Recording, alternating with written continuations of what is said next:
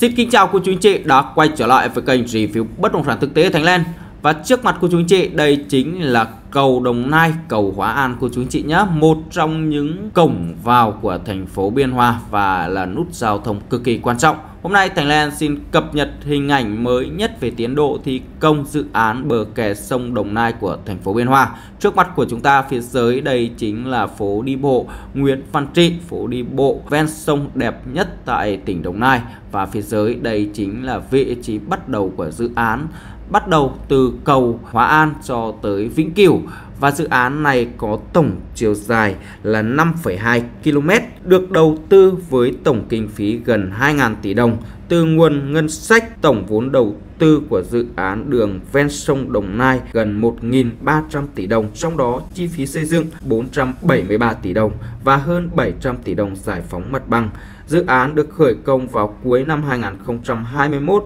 và dự kiến hoàn thành vào tháng 6 năm 2023. Tuy nhiên cho tới nay vẫn bị đình trệ thi công và đã chậm với tiến độ là hơn một năm rồi. Như vậy thì đến nay chúng ta đang thấy là phía dưới công trình cũng đang thi công rất là ngổn ngang của chúng chị nhé. Về cái việc giải phóng mặt bằng, tại sao mà chậm tiến độ như vậy thì do về việc là chưa thể bàn giao mặt bằng 100% cho đơn vị thi công. Phía dưới chúng ta đang thấy rõ ràng ở vị trí này có nhiều hộ dân vẫn chưa bàn giao mặt bằng và đang bị vướng mắc về cơ chế giải phóng mặt bằng. Bên nhà thầu thi công cũng chưa thể nhận được 100% bằng, cho nên đến nay tiến độ thi công vẫn đang chậm. Với cái tuyến đường này sẽ thay đổi về cái cảnh quan đô thị tại thành phố Biên Hòa, giúp cho luồng giao thông kết nối đi qua Vĩnh Cửu sẽ có thêm một đoạn đường mới và mọc thêm nhiều cái nhà hàng, khách sạn kinh doanh về ven sông mà hợp pháp của chúng chị nhé trước giờ, những nhà hàng ven sông có những nhà hàng không có đạt đủ yêu cầu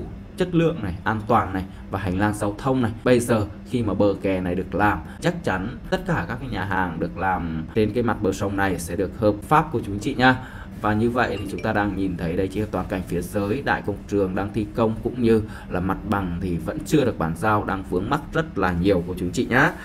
với tuyến bờ kè này Thành ra rất là chờ đợi khi mà xong. Biên Hòa sẽ mọc thêm một cái khu phố đi bộ này rồi là sẽ mọc thêm nhiều nhà hàng khách sạn cũng như dịch vụ. Sẽ thúc đẩy vấn đề cảnh quan đô thị ở thành phố Biên Hòa của chúng chị nhé trong khi đó, dự án xây dựng bờ kè sông Đồng Nai có tổng mức đầu tư hơn 613 tỷ đồng. Dự án được khởi công cuối năm 2022 dự kiến hoàn thành vào 23 tháng 2 năm 2024. Thế nhưng đến nay, dự án chỉ đạt được khoảng 75% khối lượng công trình. Nguyên nhân dẫn đến thì chúng ta cũng đã biết rằng là do vướng mắc về công tác giải phóng mặt bằng hiện nay vẫn còn rất nhiều hộ dân chưa chịu di rời, bàn giao mặt bằng hy vọng rằng sắp tới bờ kè này cũng sẽ giải phóng mặt bằng 100% và đưa vào đấu nối và hoạt động của chúng chị nhá và Đồng Nai thì có một vấn đề, đó chính là rất rất nhiều công trình bị chậm tiến độ thi công. Nguồn gốc là do vấn đề giải phóng mặt bằng, không bàn giao được kịp mặt bằng của chính chị nhé về cái câu chuyện Đồng Nai sắp tới sẽ còn thay đổi rất là nhiều, làm rất nhiều tuyến đường, thì hy vọng cơ chế chính sách cũng như là luật đất đai sửa đổi và luật kinh doanh bất động sản có hiệu lực vào ngày 1 tháng 8 này sẽ thay đổi về cái cơ chế chính sách cũng như giải phóng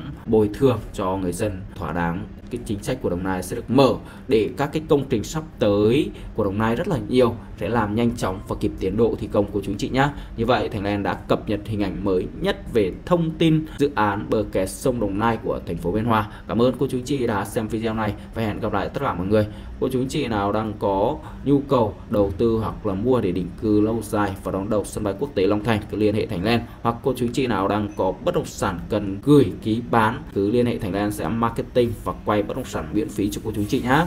Thái Lan chuyên bất động sản khu vực Đồng Nai và đặc biệt là Venture Bank bay quốc tế Long Thành xin kính chào cô chú chị.